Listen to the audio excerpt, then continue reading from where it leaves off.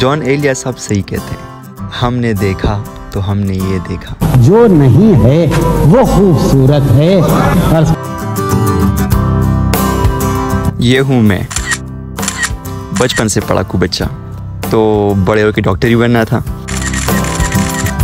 सब कहते थे एफएससी कर लो उसके बाद मज़े ही मज़े उम्र हम मर मर के जी लिए। एक पल तो अब हमें जड़ कपड़ों के बड़ा लागल हुआ मोटिवेशन ही करा लगा। हम मर मर के जी लिए एक पल तो हमें कोच मोटिवेशन भी नो बिया मुंग स्टडी कर।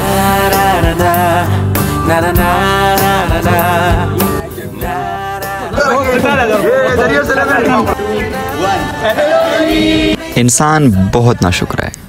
जब चाँद हासिल हो जाए तो फिर चाँद कहाँ रहता है?